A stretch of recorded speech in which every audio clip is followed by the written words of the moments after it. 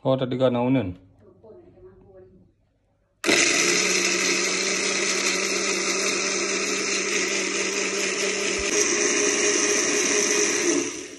Ulang?